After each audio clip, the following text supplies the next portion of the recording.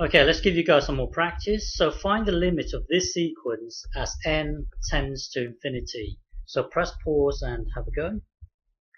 Okay, so to do this, try and put a well, try and have an understanding of what's going on. So put a big number into here and into the n here. So let's let's put a big number, 10 to the power of 10. So uh, so this thing here will be will be uh, natural log of 10 to the power of 10. Uh, well, we, we can bring this down. So so it would be this. It would be 10 log 10. So it would be 10 log 10, and then uh, put put 10 to the power of 10 into this n here. So that will be uh, that will be natural log of uh, 2 times 10 to the power of 10. So here you've got one thing multiplying another thing. So that's the same as natural log of 2 uh, and then plus uh, natural log of 10 to the power of 10 over uh, over this thing here. So now we, we can bring this down here. So that would be that would be uh, 10 10 10 log 10. So, so now th this is like a small number, and these two are, are pretty much the same. So you, you should have a hunch that it's, uh, well, these two are exactly the same, and this is going to be, eventually, it's, it's going to be small. Um, well, let's, let's, let's make this even bigger. Let's, let's make it as um, uh, 1000 to the power of 1000.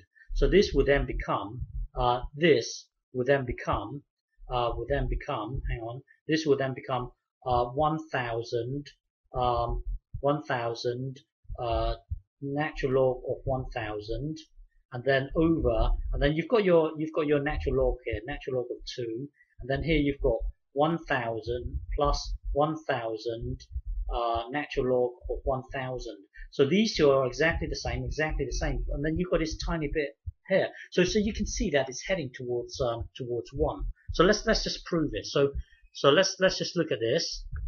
So let's just look at this. Uh, so it's you trying to find the limit of um, of this as n tends to infinity. So uh, as as n tends to infinity, this bit here is going to head towards infinity. This is going to head towards infinity. You've got an indeterminate form, so you can apply L'Hopital's rule. So differentiate this, that will then give you this. Differentiate this, that will then give you this thing here. Because if I were to ask you to differentiate this, uh, if I were to ask you to differentiate 2 to the power, sorry, 2 to n, you would imagine it as a bubble, so it's going to be, it's going to be 1 over the bubble, and then uh, times the derivative of the bubble itself, which is 2, which is this 2 here. So anyway, differentiate this, that will then give you this, differentiate this, that will then give you this, tidy this up, uh, tidy this up, it will be 2n over 2n, which is, well, the limit of this thing here is, is going to be 1. So you, so you can see it's heading towards 1. Okay. So next question. So find the limit of this as n tends to infinity. So this is like a small number to the nth root. So uh, so find the limit of this as n tends to infinity. So press pause and have a go.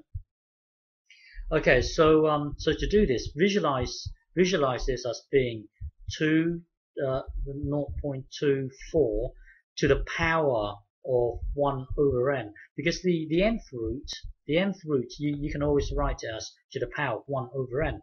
Now when you have something when you have something to the power of another thing in your mind think about logs. So um, so let's just say the limit of this. Let's just say the limit of this as n tends to infinity is y.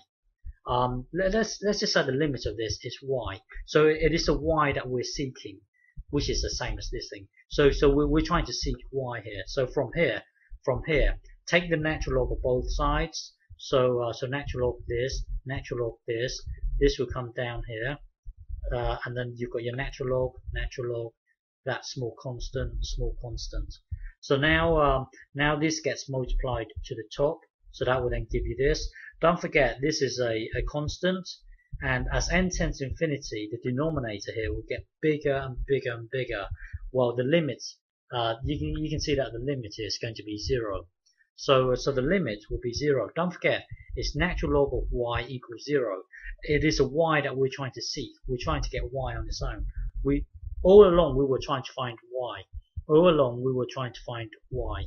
So, uh, so hang on, we were here. So, so from here, exponentiate both sides. That will then give you this. And then uh, in a way these two cancel each other out, giving you the y. And this here is 1. So, so the limit is 1. Okay.